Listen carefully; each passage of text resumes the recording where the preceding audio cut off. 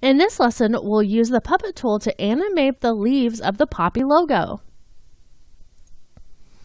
All right, so let's go ahead and get started. I'm just going to zoom in a little bit on those leaves and pull this up a bit. I'm just using the spacebar to toggle over to the hand tool. And since I already have this moved into place, this provides me a really nice way just to get started here. So I'm going to start with the leaves and just with that layer selected, I'm going to come in and we'll grab the puppet pin tool. So if I click that, then I can come over here and add some pins along these leaves. So I'm just going to left click to add some pins.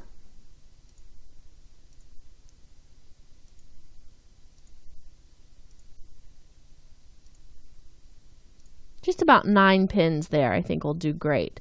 And actually I'm going to undo a few of those because I'd rather have this one be a little bit higher. There we go. Great. Okay, so those puppet pins are in place and now I'm ready to start animating those a little bit. So I'm actually going to move forward several frames um, because I want this to have a little more than a second for those leaves to unfurl. The reason why we're using puppet pins is because we pin it where it goes and then we're going to morph it to kind of almost look like it's in bloom. So we're almost working backwards in this way. Um, let's take a look at where our puppet pins ended up. If I just open all of these here, shift select all those you can see we've got all these keyframes for those pins. Now I'm going to go forward about a second and a half. We're working at 30 frames per second just by default. So I'm going to hold shift and hit page down three times. And that moved me forward 30 frames, which means that I moved forward one second in time. And you can see that over here. Now I want to probably give myself a little bit more, almost two seconds. So let's try about 50 frames. So I'm going to just go forward 20 more frames by holding shift and hitting page down twice. And then let's just grab all those keys and pull them forward. So we're going to start out with our leaves all kind of furled up and then they're going to uncurl to this position.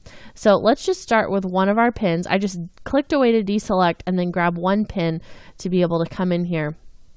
Now let's find, let's say maybe this one. I'm just going to pull that in kind of like this. And we're just working on working this kind of into a furled up, little curled up leaf. Okay, and then I can toggle using the spacebar. Great. Okay, let's do the same thing with our other pieces. And you can see how easy it is to use the puppet pins just to really quickly get this looking the way you want. And it may be helpful to you to turn off your other flower layers so you can kind of see that now this is just a very tiny little white dot. And then when I scrub forward, it's going to kind of pop out and you can see those leaves appearing. Now, I don't really like the way that they're coming out. It almost looks like a bat that's flapping its wings. So what I'm going to do is go right in between those keys, take a look at the pins again, and start to kind of coax them to unfurl more in the way that I want them to. So you can see how this one is just going in a straight line I'm going to tell it I want it to kind of go up first. And we can kind of move those around like this. Okay, so now you can see how it's going to come out and then start to do that little flap. So instead of just going straight across, they're going to go up and over. Very nice. Okay, so I really like the way that that is looking.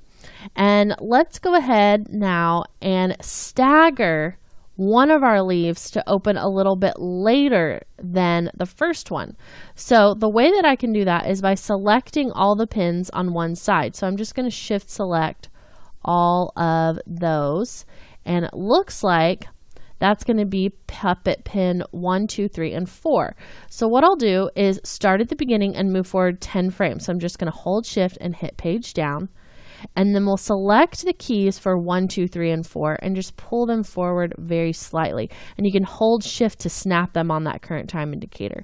So now what's going to happen is leaf on the left is going to come out first and then leaf on the right. So it makes it just look a little bit less uniform and perfect that way.